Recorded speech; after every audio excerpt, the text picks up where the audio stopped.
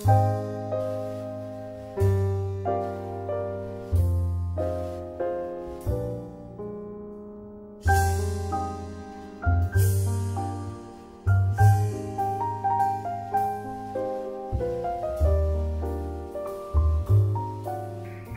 langur, Presbytis entellus.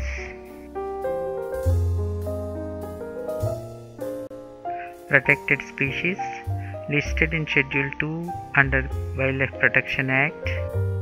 A black-faced monkey with long limbs and tail.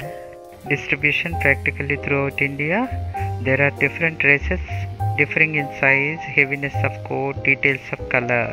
Arboreal inhabits forests and temples. Forest dwellers are more shy and wary. Langurs are pure vegetarians, eat wild fruits, flowers, shoots, and leaves.